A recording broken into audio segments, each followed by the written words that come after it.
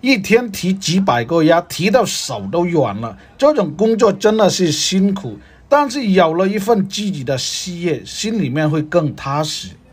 这一些都是我们的新学员亲手来操作的，大家来看一下标不标准。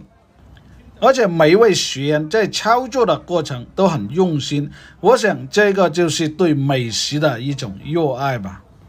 从选鸭开始到腌料、风干。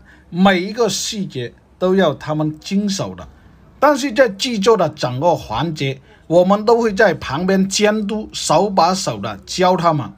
这两位是从温州过来的，今天第一天，但已经是感受到我们整个学习的氛围了。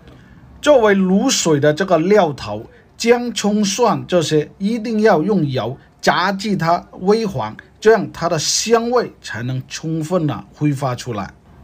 包括盐焗鸡的汤底也一样，这些虽然是细节，但是很重要。在烤鸭子的时候，因为它的大小不一样，那么成熟度、时间也不同，所以这一步就靠经验了。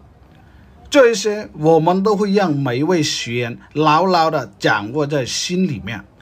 从看颜色、看中线、提的手感，一定要让每一位学员。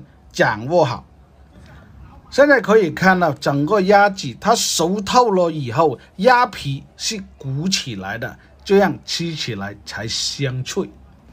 就算是放它三五个小时凉了都没问题，因为整个鸭皮的底面呢已经是起有那种小蜂窝，说明已经是氧化了，所以它经得起时间的考验，原因就在这里了。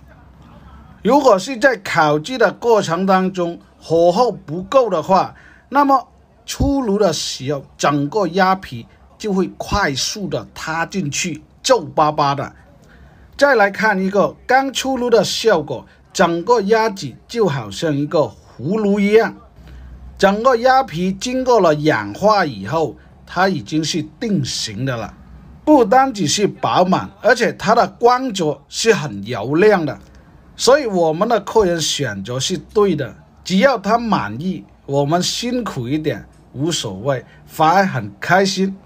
再来看一下后面的这一炉，是我们学员亲手烤的。这些不单是配方好，还需要大家用心才能做出这样的效果。有喜欢吃鸭腿的朋友，可以在评论区说出你个人的口味，喜欢沾酸梅酱的，还是原汁原味的，还是五香味的，或者是有想创业、想摆摊的朋友，都可以和我们互动，或者是直接来一条私信。这里除了烤鸭以外，还有卤味、原汁鸡，包括烤鸡、烧鹅。只要客人喜欢的，我们都可以提供给他。每天新鲜出炉的，就是不一样。所谓的色香味俱全，就在这里了。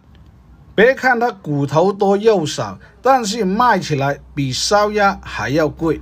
不说不知道，只有开过烧卤店的朋友才清楚，这些翅膀、鸭头、鸭脚这些都是纯利润的。一般人我是不会告诉他的。好了，本期的视频就和大家分享到这里，感谢您的观看和支持。